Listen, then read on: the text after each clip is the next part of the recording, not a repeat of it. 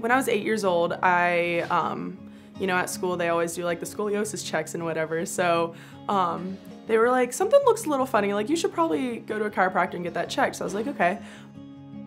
The chiropractors, they initially found out, they're like, your shoulders are a little uneven. Like, I, I think you've got scoliosis.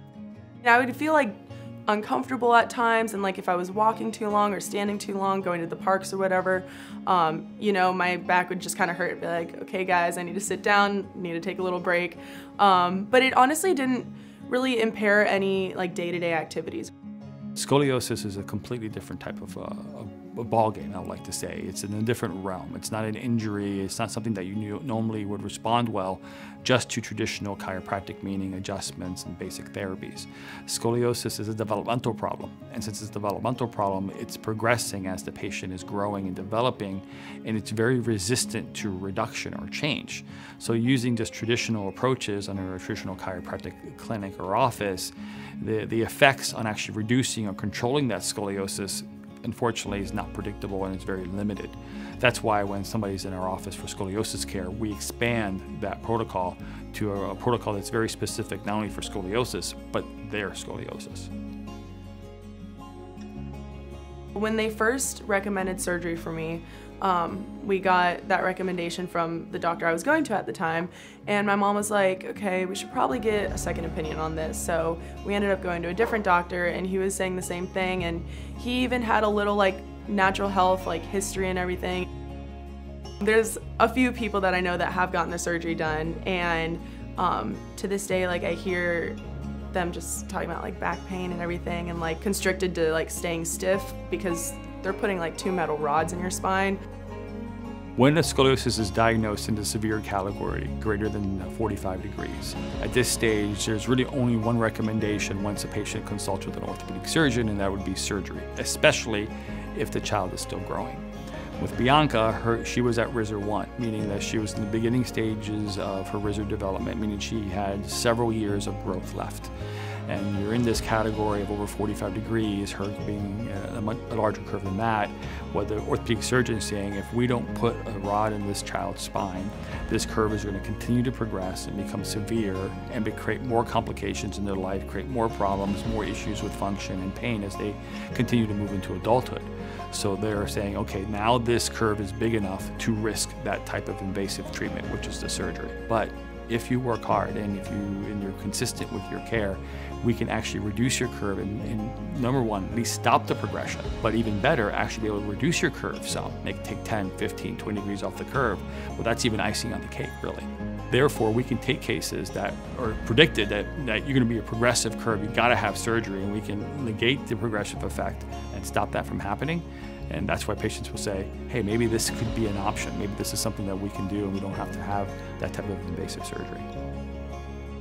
So my mom, she was doing research every single night, like trying to find alternatives and everything, and that's when we came across Dr. Tony here at Max Living. Um, literally, it was two weeks before my scheduled surgery.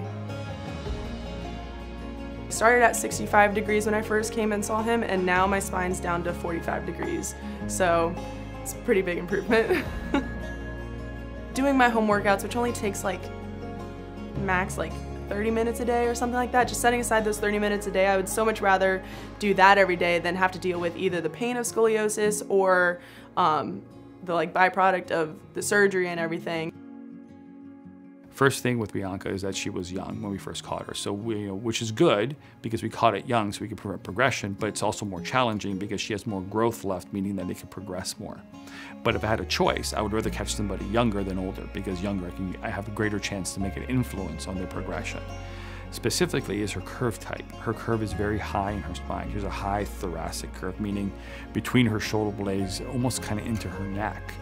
Now, the third thing is that she plays uh, a banjo. And playing this banjo, could it possibly that all this time playing banjo could have had an effect on where and how her curve developed? It's possible. We don't know. But we do know that type of asymmetrical position and the weight on her shoulders can actually affect the position of her spine. So all those things in, in, in combination put together this factor that, man, she's a high risk, that she's going to worsen. So in, that makes it more challenging, but it doesn't make it impossible. Meaning, if all we do all the right things in reverse, we can have a positive effect and stop progression.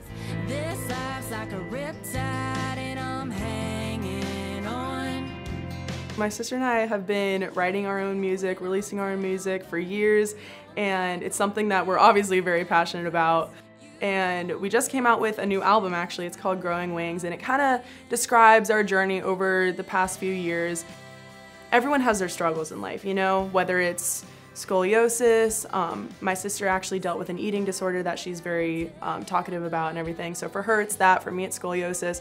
Everyone has their something, you know? So we kind of incorporate those into some of our songs. We have this song called uh, Growing Wings that's kind of about just like, you know, like moving on to the next chapter of your life, even though you do struggle with some of these things, like, you know, growing your wings and like moving on, you know? And there's this other song that we have that's called Limitless, and it's just about no matter what stands in your way, if you have a goal like and you want to achieve that goal, you can and you have to know that you're limitless.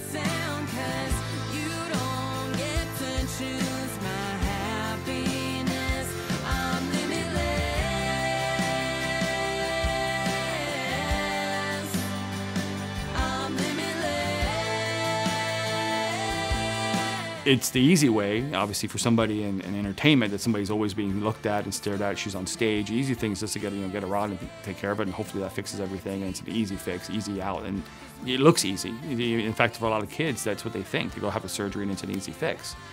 But Bianca's smart enough to understand, say, hey, you know, there's complications of that, and so she's willing to take the time and the energy to to work on her spine with exercises and rehab and chiropractic care, and and avoid that type of invasive surgery even though it means more work, or it seems like more work, but she understands that the more work now is less work later because she's going to actually be healthier later on in life for it.